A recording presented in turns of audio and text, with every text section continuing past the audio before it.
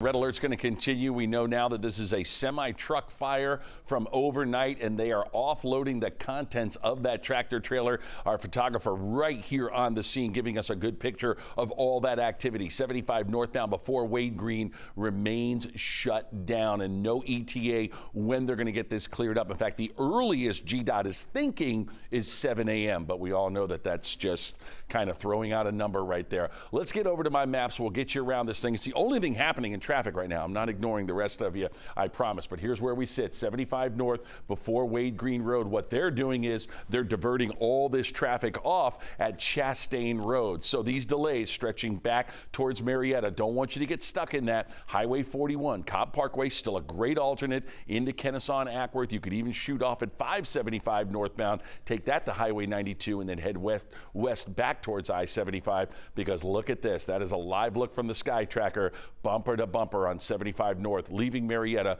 We've got a lot more coverage of this and Hurricane Milton when we come right back.